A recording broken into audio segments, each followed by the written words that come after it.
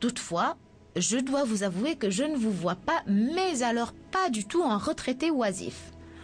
Alors permettez-moi d'apporter une modeste contribution à votre réflexion sur une possible reconversion.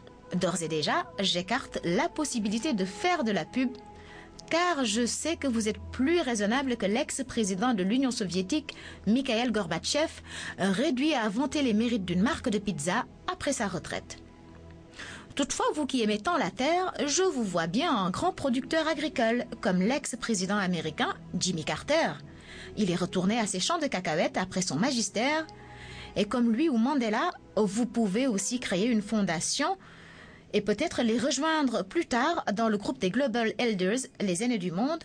Cette ONG créée par l'ex-président sud-africain regroupe des hommes, femmes politiques ou activistes d'un certain âge engagés dans la résolution des fléaux contemporains et dans la prévention des conflits.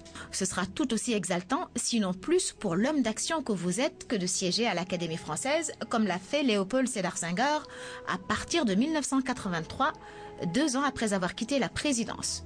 Et puis franchement, vous n'en avez vraiment pas besoin pour atteindre l'immortalité. Autre possibilité qui s'offre à vous, présider aux destinées d'une grande organisation internationale, à l'image de votre prédécesseur, Abdou Diouf. Depuis 2002, il est secrétaire général de l'Organisation de la francophonie.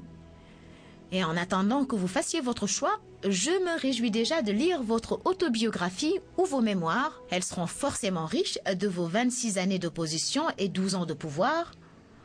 En plus, c'est payant. Celles de l'ex-président américain Bill Clinton lui ont apporté la bagatelle de 12 millions de dollars. Bref, il y a beaucoup d'avantages qui viennent avec les titres d'ex-président de la République.